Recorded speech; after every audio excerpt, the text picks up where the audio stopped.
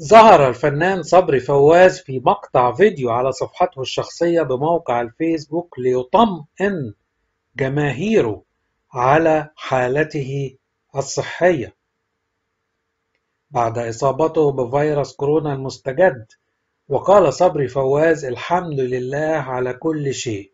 يعني شاءت ربنا إرادة ربنا إن آخر ثلاث سنين بيحصل لي حاجات غريبة. سنة جلطة ودعامة والسنة اللي بعدها استئصال مرارة والسنة دي كورونا. وادي صورته وهو بيقول الكلام ده طبعا باين عليه علامات المرض. ربنا يشفيه ويقومه بالسلامة. هو نشر الفيديو دهوت يوم سبعة فبراير ألفين واحد وعشرين. حاجة لسه حديثة طبعا.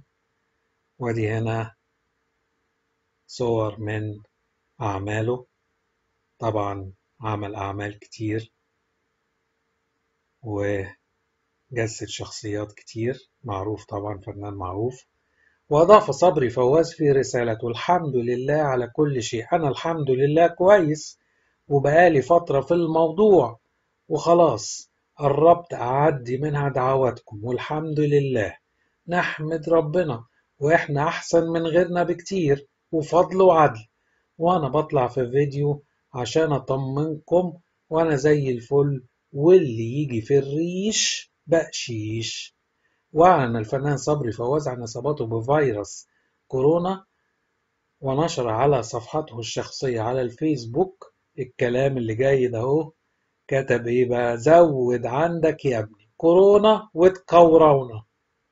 وتواصل اليوم السابع مع الفنان للاطمئنان على صحته واكتفى بقوله الحمد لله على كل شيء لافتا إلى أنه في العزل المنزلي ويأخذ بروتوكول العلاج للشفاء من فيروس كورونا. ومن ناحية أخرى فقد ذاع صيت الفنان المصري صبري فواز في العام الأخير كثيرا بعد أن برزت موهبته التمثيلية بمشاركته في مسلسل السبع وصايا ومسلسل العهد ولكن لا يعرف الجمهور شيئا عن حياته الشخصية. صبري متزوج من عزة موسى ولديه منها ولد وبنت هما مروان وصبا. وقد نشر العديد من الصور له معهما على صفحته عبر موقع الفيسبوك. دي مراته عزة موسى. كتير ما يعرفوش إنها زوجته. وادي ابنه مروان. وبنته صبا. إيه رأيكم تشبه له كتير في ملامحها. وادي هنا مع مراته عزة. وكان في لقاء قبل كده كان قال إن هو بيحب يدلع بنته وأدي صورة ليه معاها. ربنا يخليه ليهم ويخليهم ليه. وأدي هنا صورة مع ابنه ومراته وبنته. هي كمان الظاهر بتحب تدلعه. وفي 4 أبريل 2017 هنأ الفنان صبري فواز زوجته عزة موسى بعيد زواجهما العشرين.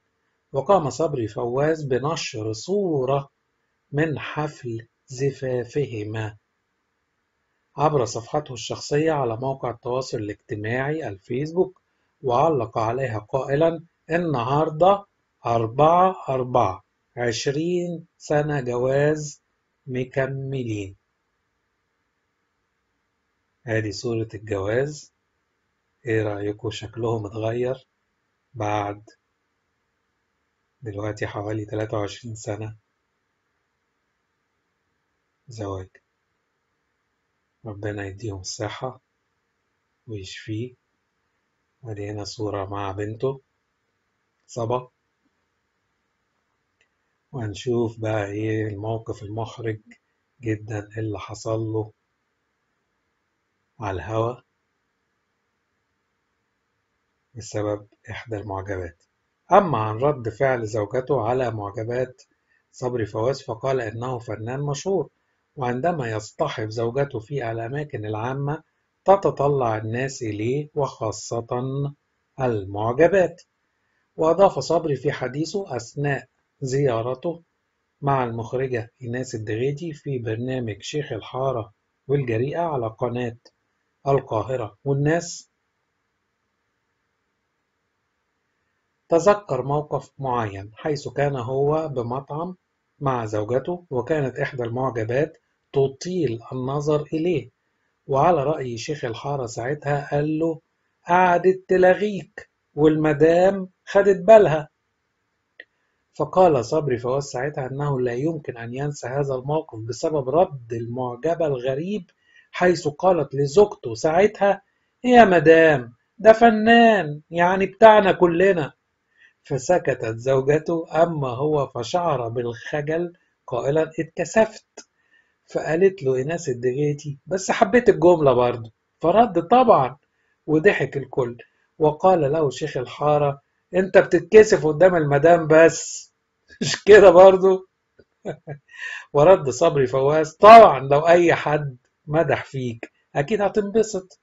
فقالت له ايناس الدغيدي طب لما روحت البيت قالت لك إيه المدام؟